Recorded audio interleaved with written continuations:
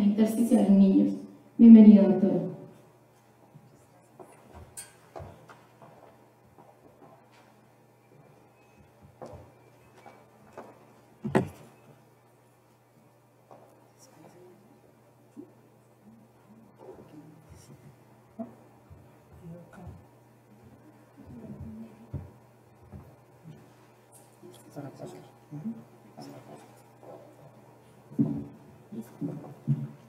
Eh, muy buenos días. Eh, para el comité organizador, un agradecimiento especial estar acá.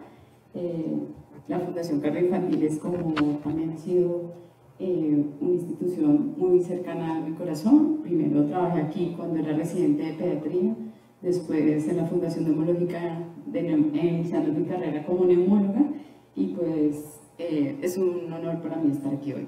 Voy a hablar básicamente de los aspectos que son cruciales desde el punto de vista del abordaje pediátrico de los niños que tienen una enfermedad pulmonar intersticial. Les cuento que por lo general cuando uno tiene un paciente que tiene compromiso difuso del parénquima pulmonar, siempre tiene una sensación de temor, pero vamos a tratar de hacer un enfoque práctico para que a todos nos quede claro y cuáles son los puntos claves en el manejo de estos niños.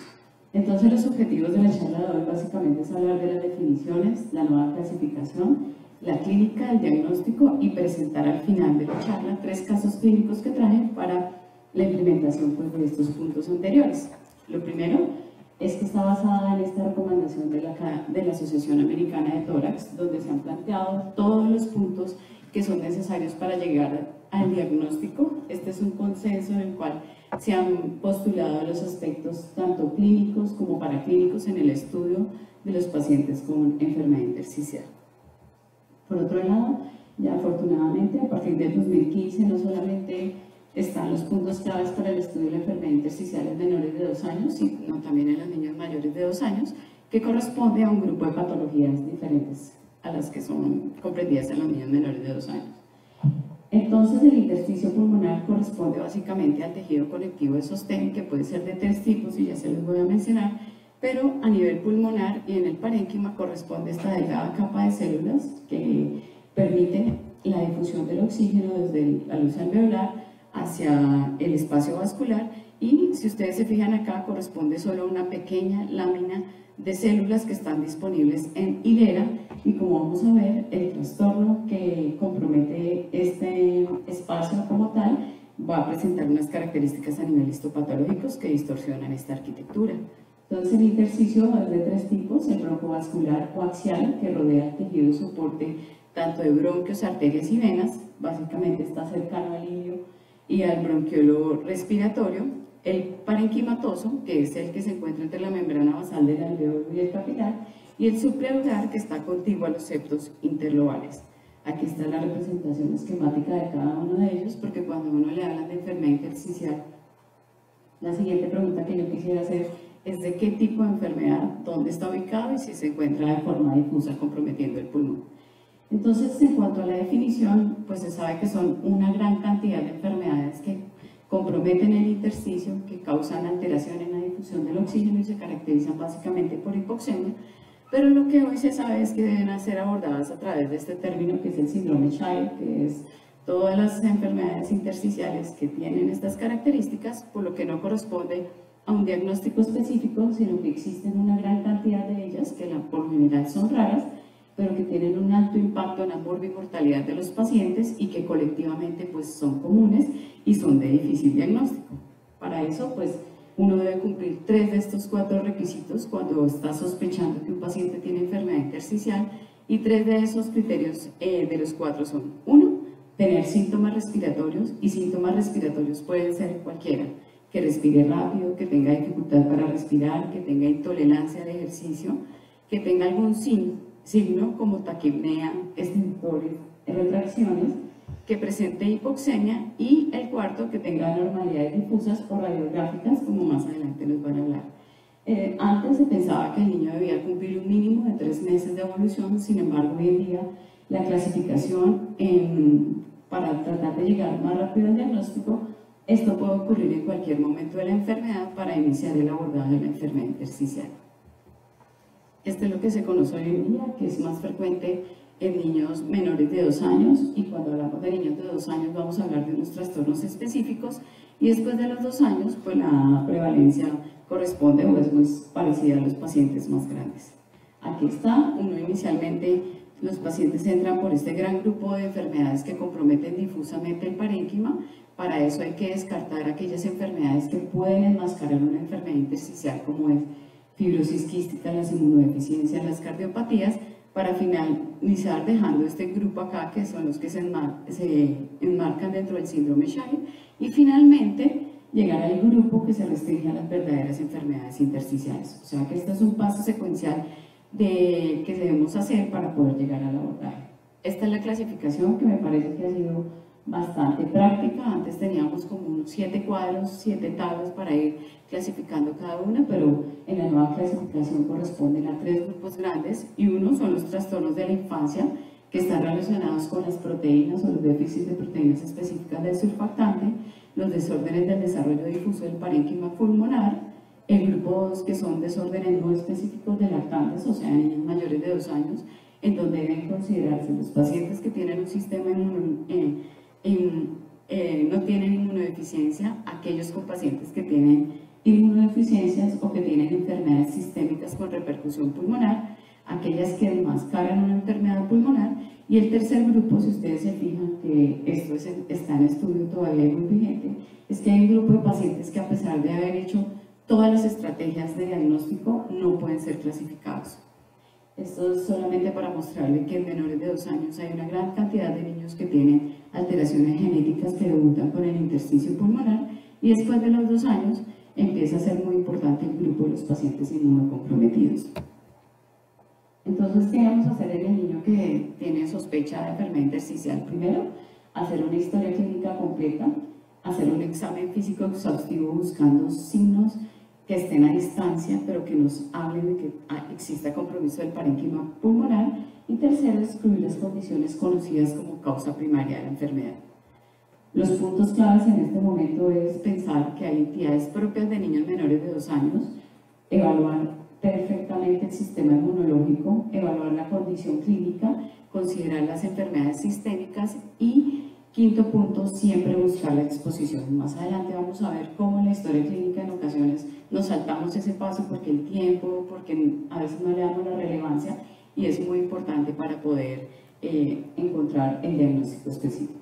Esto es como la cadena de eventos que se deben llevar para el diagnóstico. Primero, realizar los test sanguíneos. Segundo, las imágenes de las cuales nos hablarán en la siguiente conferencia.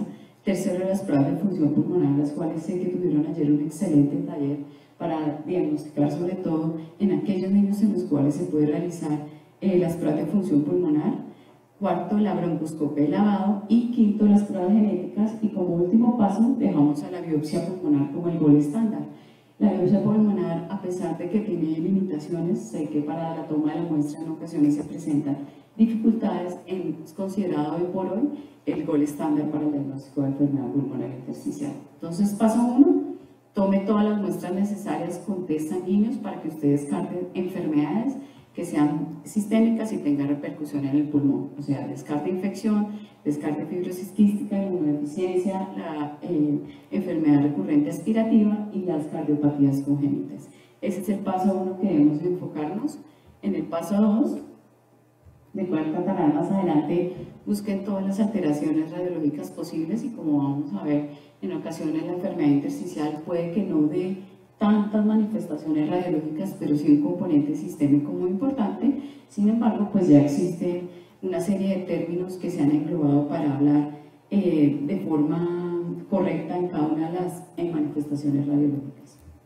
El tercer paso es la toma de muestras a través de la broncoscopia y para nosotros la broncoscopia de lavado broncoalveolar corresponde, mejor dicho, es la mano derecha del neumólogo porque ahí nosotros podemos hacer varias cosas. Uno, ver la anatomía de la vía. Dos, tomar las muestras. y dentro de esas muestras nosotros hacemos los estudios citológicos, los estudios para infección, practicamos tinciones y realizamos los conteos celulares. Por esto, pues en estos son fotos de lavado broncoalveolar de nuestros pacientes y lo que podemos ver acá, esta es una tinción de OLRED donde básicamente podemos ver estos que son los rojitos, que son los macrófagos cargados de grasa, los lipófagos, que nos pueden hacer tempranamente el diagnóstico de broncoaspiración. Esta es una tinción de paz mostrando una hifa de aspergillus niger en un paciente que tiene aspergilosis pulmonar con síndrome de Down. Este es una tinción de azul de Prusia en pacientes en los cuales estamos haciendo estudio de lesiones difusas con virus merilado en el cual encontramos macrófagos cargados de hierro que hace el diagnóstico de hemosiderosis y esta es una tinción de Grocos donde hacemos el diagnóstico de colonias de Neumocystis jirovecii en pacientes inmunodeprimidos. Entonces, la broncoalveolar es el tercer paso, pero para nosotros es una herramienta fundamental en el estudio de enfermedades eh, intersticiales. El cuarto paso es realizar test genéticos y aquí voy a hacer un paréntesis porque para realizarlos en nuestro país ya disponemos del panel de siete genes, está en el POS, pero en ocasiones entre la toma de la muestra y el resultado se tardan entre seis semanas dado que no se procesan eh, en Colombia. Sin embargo, pues están disponibles la, codificación o el realizar los genes para las proteínas B y C del surfactante de su transportador el APCA3 y eh, los factores estimulantes de colonias en los casos que estemos sospechando proteinosis y el factor de transcripción tiroideo en los casos que estemos sospechando el síndrome cerebro-tiroides pulmón. Hasta acá pues podríamos decir que con una muestra en ocasiones eh, podríamos tenerlo, sin embargo la espera en el resultado a veces nos hace que lleguemos a otra conducta como es la toma de biopsia pulmonar. Aquí están los genes que se han secuenciado y que se han encontrado que tienen un patrón de herencia específico que causan enfermedad intersticial. Nosotros hemos encontrado que para Colombia el APCA3 ya existen varios casos reportados en Medellín, tres en Cali, parece que hay un sitio específico en Calcedonia donde existe un patrón de herencia familiar. En Bogotá hemos hecho reportes esporádicos y la idea es que podamos hacer un trabajo colaborativo donde reunamos todo este tipo de pacientes con esta alteración para definir eh, si estamos o no ante una nueva eh, mutación reportada para nuestro país. Estos son básicamente eh, pues, el patrón de herencia y las presentaciones que por lo general la mayoría se hacen en pacientes menores de dos años. Y cuando tenemos que llevar a la biopsia pulmonar, dado que es un procedimiento de alto riesgo, lo que yo les recomiendo es que se adhieran a las guías de cómo procesar la muestra, porque lo que hacemos es que es un paciente de alta morbilidad se toma la muestra y se pierde en ocasiones la muestra por el procesamiento. Entonces las recomendaciones es que sea eh, muy bien eh, definida el sitio de la toma con los radiólogos, los cirujanos que nos la realizan, poder realizar las muestras especiales. En Bogotá ya tenemos un sitio que nos hace cuerpos lamelares y nos hace los estudios de microscopía electrónica en la Fundación Santa Fe y puede ser tomada por biopsia abierta o por videotoracoscopia. Pero lo importante es que una vez se tomen, no se pierda la calidad del procesamiento. Entonces, estos son dos neumocitos tipo 2. Si ustedes se fijan, aquí está la membrana, eh, la membrana celular, y lo que vemos normalmente aquí es el núcleo gigantesco y estos, que son los cuerpos lamelares. no sé si puedo señalar aquí. Ah, ¿Sí está señalando?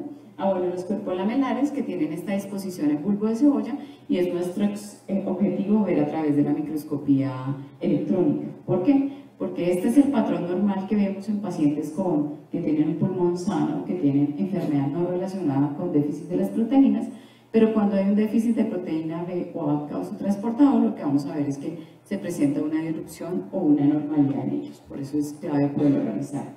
Este fue un primer estudio que realizamos aquí en Bogotá, revisando las, biopsias pulmonares de 35 años de pacientes que habían llevado, sido llevados, ¿cierto? Que habían sido llevados a biopsia pulmonar y en los cuales encontramos y hicimos un protocolo para enfermedad intersticial específico buscando alteración de las proteínas del surfactante y encontramos que teníamos el mismo patrón de enfermedad intersticial descrito en países eh, americanos y europeos sin embargo, pues la limitación de este estudio es que no teníamos datos clínicos ni radiológicos. Hay otras nuevas entidades que son aún más raras, pero que cada vez a través de los avances genéticos podemos diagnosticar hoy en día y que pues estamos pensando cada vez que están en el grupo de no clasificados. Entonces, para empezar, voy a mostrarles tres casos clínicos y este es el primero, es un paciente masculino de tres meses que consulta el servicio de urgencias porque respira rápido y está desaturado. De cuatro semanas presenta tos seca, congestión nasal, dificultad respiratoria progresiva, es manejado con betado sin helado y solución salina, lavados de solución salina y tenía antecedentes de haber nacido a término, haber nacido eh, con dificultad para respirar, requirió ventilación mecánica, dos dosis de surfactante, presentando neumotórax bilateral, estancia total en la unidad de recién nacidos un mes y había salido con diagnóstico de displasia pulmonar. Al examen físico de ingreso, pues con dificultad respiratoria moderada, estaba hipoxémico a pesar del suplemento de oxígeno, con presencia de estertores binasales. En el estudio inicial pues se le hicieron todos los manejos de la vía aérea. Se encontró que tenía dentro de los paraclínicos y estudios de extensión un ecocardiograma con hipertensión pulmonar leve, un ELISA para VIH negativo y autoforesis negativa, un perfil inmunológico tanto celular como oral normal y tenía estas imágenes. Eh, ya se les voy a mostrar. El mal que se le realizó pues, dentro de su estancia en mostró un predominio linfocítico con un índice de lipófagos de 40 sobre 400, es positivo para la broncoaspiración cuando está por encima de 84 y dado que no, no era significativo ni con el lavado pudimos, se realizó una biopsia pulmonar. Aquí están las imágenes, si ustedes se fijan, tiene un compromiso que es extenso en ambos eh, campos parénquimas, tanto el derecho como el izquierdo, virus levitado y algún engrosamiento de los septos. Esto fue dentro de su evolución que tuvo. Esta es eh, otra toma donde se ve pues, el compromiso extenso a nivel parenquimatoso. Estas fueron las imágenes de la obra alveolar, que aunque tenía predominio linfocítico y los macrófagos, eh, algunos cargados con inhibición de OLV positiva, no fue significativa para la aspiración. Cuando nosotros evaluamos la carga viral para citomegalovirus en el mal fue de 98.000 copias, con una carga viral sérica positiva y pues se dio inicio eh, con excluir este paciente, a pesar de que no tenía una inmunodeficiencia demostrada, sí tenía eh, pues una infección por citomegalovirus. Y en cuanto a lo que ha tenido que ver con citomegalovirus, nosotros tenemos desde el 2013 una cohorte de pacientes que venimos estudiando y analizando con cada uno sus compromisos desde el punto de vista clínico y paraclínico en ellos. Este fue nuestro primer reporte de la caracterización de estos pacientes, donde analizamos el compromiso pulmonar de pacientes que no tienen VIH, pero que sí tienen compromiso pulmonar y lo que encontramos es que el 87% tiene algún tipo de inmunocompromiso, el 100% tiene tos, de estos, el 100% tiene algún tipo de anormalidad en los fluidos respiratorios, llámese compromiso de la vía aérea, compromisos a niveles del parénquima, y tenían además el 100% de anormalidades de las imágenes radiológicas. Eh, en cuanto al diagnóstico, nos ha dado un valor muy positivo el análisis de la, eh, por reacción en cadena de la polimerasa la carga viral en el lavado broncoalveolar y aunque la mayoría de la literatura describe que el patrón de, del lavado broncoalveolar es linfocítico en predominio para estos niños, en nosotros en el 92% de la neutrofilia. ¿Por qué?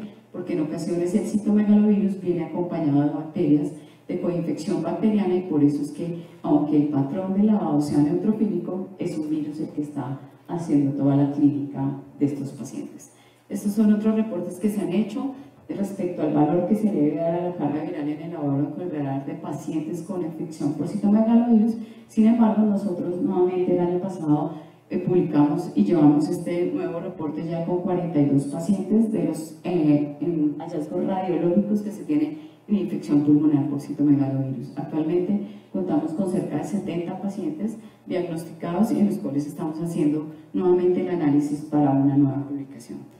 Respecto al segundo caso, les traigo, este es un paciente de 7 meses, masculino, que nace fruto de una segunda gestación, una mamá de 27 años, no había consanguinidad entre los padres, nace a las 29 semanas por ruptura prematura de membranas y requiere hospitalización en unidad de recién nacidos por 51 días.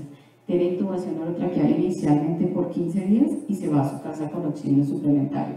Este es el récord súper resumido de estos cinco últimos meses, porque en realidad este niño ha estado hospitalizado pues toda su vida, a los dos meses, por una bronquiolitis viral, que para mí esto es como un poquito, quiero morir cuando me dicen panel viral negativo, porque muchas personas dicen, no, tranquila, tiene panel viral, pero yo digo, en realidad pienso es en otras cosas. Tres meses por neumonía viral, entre los tres y los cuatro meses, una estancia de dos meses en la unidad de cuidado intensivo por una bronquiolitis por enterovirus y rinovirus, y seis meses de deterioro del patrón respiratorio y nuevamente en la unidad de cointención. En realidad, cuando vemos a este paciente, el estado clínico no permite que le hagamos tempranamente un lavado, lo llevamos directamente a biopsia Estas son algunas de las imágenes y fíjense ustedes cómo el de recién nacido tiene un compromiso bilateral por opacidades que comprometen que opacifican pues ambos parénquimas. Estas son en su punto de deterioro y finalmente estas son las imágenes del TAC un extenso compromiso parenquimatoso que cuando revisamos en realidad estaba siendo visto, fíjense ustedes, siempre eh, todos los síntomas achacados por la displasia, sin embargo para nosotros eh, la displasia en ocasiones es un factor de confusión para enfocar a estos pacientes. Decidimos llevar la biopsia y lo que encontramos ¿Se acuerda que les había dicho que era un solo, una sola hilera de células? Lo que vemos aquí es una hilera como de 10 células en total. Fíjense ustedes que son más de 10 eh, eh, de grosor que compromete el parénquima. Es un grosamiento generalizado del parénquima pulmonar, básicamente. Y lo que hacemos en el análisis de los cuerpos lamelares, fíjense ustedes cómo el patrón normal debe mostrar estos cuerpos lamelares en distribución de bulbo de cebolla. Y si ustedes se fijan, esta es la imagen típica de cuerpo lamelar es un huevo frito que hace el diagnóstico de déficit de APCA3. En realidad este niño lo que tenía era una deficiencia de transportador de proteínas del surfactante dentro del citoplasma y es una enfermedad que es mm, en ocasiones cuando su debut es antes de los, el año es mortal y tiene que ver básicamente con todo el procesamiento del cuerpo lamelar y de la síntesis de proteínas al interior del neumocito tipo 2. Hoy en día se sabe que en la enfermedad intersticial del niño puede predecir fibrosis pulmonar idiopática en el adulto. Es un concepto que no es muy aceptado todavía por adultos, pero estoy segura que sí tiene que ver en, algún porcentaje de los casos. Se han descrito mutaciones a nivel del surfactante B, C y de su transportador y sobre todo en el caso del déficit del C, es el que más se ha, realizado, se ha relacionado con fibrosis pulmonar idiopática. El déficit de esta proteína básicamente es un trastorno autosómico recesivo que es de frecuente presentación en lactantes y escolares y hoy en día existen una gran cantidad de mutaciones descritas. Este es básicamente la localización del APA aquí en el retículo endoplasmático. Cuando se está haciendo la síntesis, es como un carro que transporta las proteínas para que puedan hacer su salida finalmente al espacio alveolar y hacer las funciones tensoactivas que realiza el surfactante. A uno le pueden decir en una biopsia que encuentran cualquiera de estos tipos, una neumonitis intersticial crónica en la infancia, una neumonitis intersticial descamativa, una neumonitis intersticial no específica o como tal un término genérico neumonitis intersticial o neumonitis por cristales del colesterol y cualquiera de estos patrones puede corresponder a un déficit de APCA3. Así que el llamado es a que cuando tengamos la biopsia encontremos el patrón, busquemos más allá que pueda haber detrás del trasfondo del patrón histológico. Esta es una de las series más grandes reportadas por el doctor Hamas. Tiene estos dos pacientes que son de origen hispánico y de origen hispánico tienen eh, sus ancestros colombianos. Por eso es que consideramos que estamos ante tal vez una mutación específica para nuestro país. Y para finalizar, este caso clínico es un paciente que llega por la consulta ambulatoria, 13 años, una niña que tiene dificultad respiratoria progresiva y había tenido el antecedente que se había hospitalizado por este episodio de dificultad para respirar, por presentar hematuria y en el sitio donde estuvo hospitalizado durante casi 20 días realizan la biopsia renal que fue completamente normal.